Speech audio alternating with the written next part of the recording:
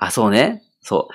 汗を舐めてくるんですよってお話をされてて、まあ汗自体は雑菌とかもあるけど、抵抗力のある元気な時だったら、多少の雑菌が体に入っても、結構鳥さん、そういう元気ですよ。それは野生の鳥なんかもう、もう菌まみれなんですから。まあ、飼い鳥さんは弱いですけど、健康なら、その多少はですね、抵抗できる。でも、弱ってくるとまずいよって話したわけです。で、化粧も、舐めれば直ちにやばいっていうこともあるんだけれども、無理なので、まあ、やんわりこう、退ける。どんどんどんどん美味しいからどんどんおなめおなめっていうことはないよって話したんですね。やんわり退けましょうって話したら、コメントで、あ、そうなんですね、気をつけますってして。エンドも置いているんですが、やっぱり、舐めてくるんですよね。そう。多分汗はミネラル、塩味、塩味があるから、それを舐めに来るんだろうということで、それとの対対応する解釈として、エンドを置いてれば、エンドを舐めれば、満足してくれるんじゃないかということでエンドを置いてるということこれについてはもう店長から一言。まあ一言というかですね、店長もうんちくあるんで。え、うんち、いや、うんちく いつも言ってます、ね。エンドはダメです。エンドはダメです。エンドは鳥さんにとって、あと、ダメなものです。ダメなもの。ダメなもの。あんまり推奨されてないんですね。もう今、獣医さんもやめてください。獣医さんもやめてください。そうね。あの、お店にだけ売ってる、ね。そうね。あの、知らない人がね。うん昔からながらの人が買いますね。えっと、エンドウを食べるのは多分塩味、塩味ってでも本当はあんまりいらないと思ってて、ミネラルを取るためだと思うんですよ。うん、あと砂の中にこうして入れて、あの、胃の中に入れて、砂、砂脳っていうね、まあ、砂ずりの部分なんですけど、砂脳のところに小石とかを入れて消化を助けるという意味でもあるし、まあ、砂だからそうもならないんだけど、何が悪いかを言います。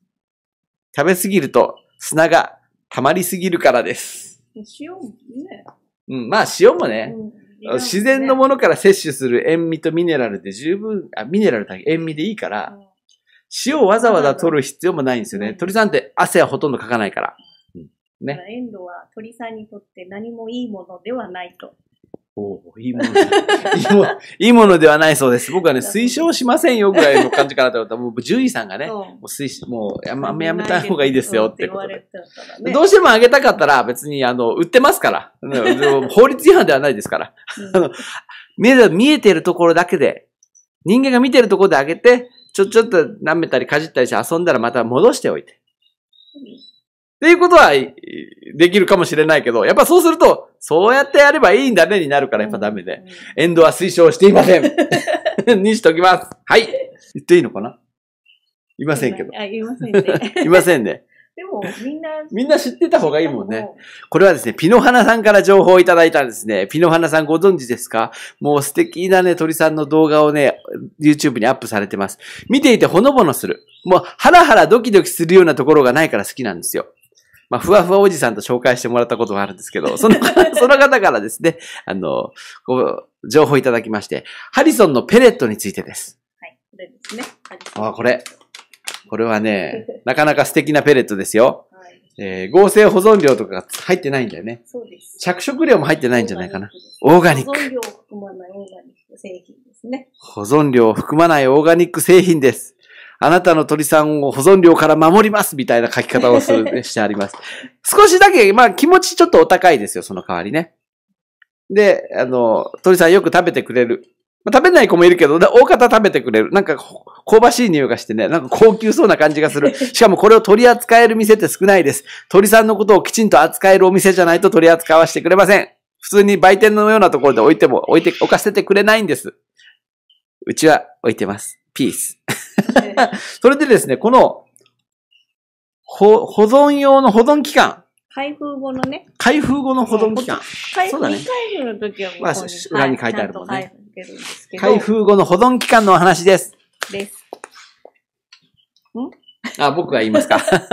使用期限っていうのは普通、今までは4週間から6週間と書いてあったんですよ。開けたら。開けたら。まあ、この袋ってすごく上等らしくてアルミが入っていて、あの、これに入れとくと持ちますよってもう太鼓判をされてるんですけど、いつし変えないでくださいね。4週間から6週間だったんですけど、8週間に変更されたみたいです。おめでとうございます。長く持ちます。それわざわざですね、ピノハナさんですね、ハリソン社に問い合わせてくれてるんですよ。え、本当なの？と。大丈夫なの？急に変わってるけど。じゃあハリソン社から答えをいただいて、ハリソン社が実験して調査した結果、8週間でも大丈夫だと分かって、8週間にしましたと。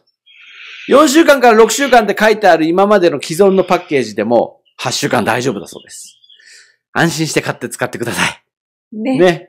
2ヶ月大丈夫ですから、だいたい食べきりますね。ね。うん。いいんじゃないですかね。これをお伝えしないといけないね。あ、あ、そうそうそう。脱酸素剤も可能であれば入れてあげると、なおよしだそうです。まあ、酸化させないことが大事だから、密封していてもその中に入ってるすす空気あるからね、酸素があるから、それまで吸収してしまえばね、うんいいですね。だそうでございます。ありがとうありがとうございます。素晴らしい。ありがとう。いつもご視聴いただきありがとうございます。良かったなと思う方はチャンネル登録を、楽しかったなと思う方はいいねボタンをお願いします。皆様に見ていただくことが鳥さんの世界がもっと良くなることにつながることになります。どうぞご視聴よろしくお願いします。